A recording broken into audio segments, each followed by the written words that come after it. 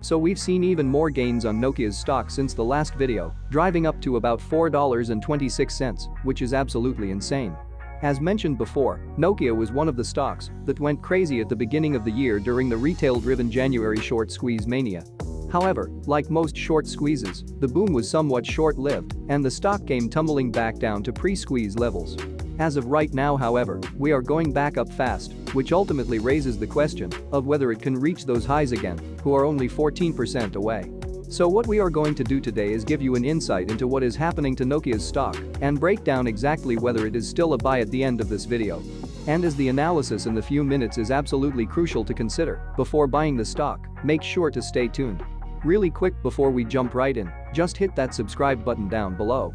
And as we'll keep you updated on breaking news and awesome trading opportunities every single day, subscribing would not only help us but also you. So there is really no excuse for not smashing the subscribe button, it's free, and you can always unsubscribe if you feel so. Alright, let's start talking about the stock. And if there is one thing you need to know about the company, then it is that a lot has changed, which is super important to consider for our prediction at the end of this video. Especially the new 5G infrastructure market in which Nokia operates seems extremely attractive.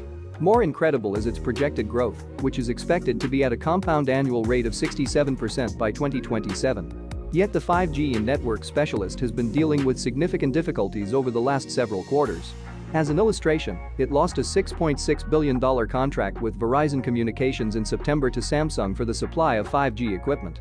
The US telecom service provider remains an important customer for Nokia, but that event highlighted Nokia's declining competitiveness because of issues in integrating acquisitions and innovation. So the question here is whether Nokia can sustain itself in the more and more competitive business. But according to management, its market share in 4G and 5G mobile access will stay at 27% by the end of this year. That forecast excludes China though, where the company has become more prudent because of the uncertain profitability in that large market. In order to get back to the top however, Nokia then came up with a game-changing plan, which they call their Great Reset. As a part of this reset, the company for example plans to reduce the headcount by as much as another 10,000 people. Let's take a closer look at this reset and what it means for the company and its stock.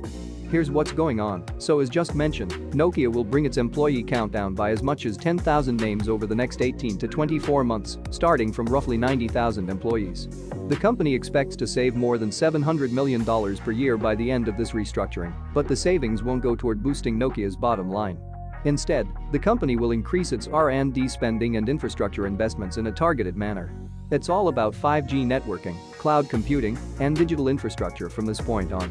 All told, the restructuring charges should match the cost savings almost exactly.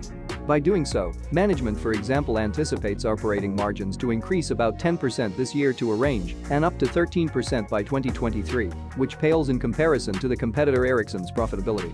Thanks to its investments over the last several years in its 5G portfolio, Ericsson's operating margins reached 19% in 2020, and it aims to sustain its margins in the 15% to 17% range.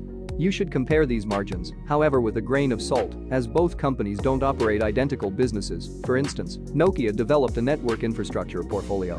But the point is, besides areas of strength, Nokia must deliver flawless execution over the next several years to improve its financial results to only low revenue growth and modest operating margins.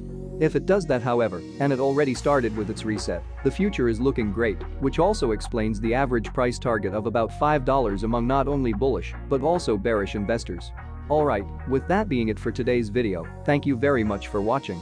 If you like this video and want to support our mission of providing free financial information to everyone here on YouTube, please ensure you're subscribed and definitely consider leaving a like. As mentioned before, it really means the world to us. Thanks a lot and see you next time.